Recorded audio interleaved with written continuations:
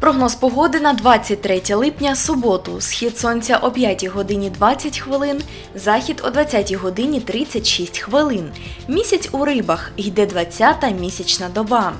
За народним календарем 23 липня відзначається День преподобного Антонія Печерського. У минулі часи помітили, якщо в цей день буде глухий грім, до тихого дощу. А якщо грім гучний, можна чекати на зливу.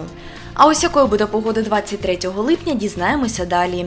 За повідомленням Українського гідрометеоцентру, 23 липня у Миколаєві та області на нас чекає ясна погода, без опадів. Вітер північно-західний 2-4 метри за секунду. Атмосферний тиск 759 мм ртутного стовпчика. Вологість повітря 41%. В Миколаєві нічна температура досягне 17 градусів вище нуля, а вдень підвищиться до 26 градусів тепла.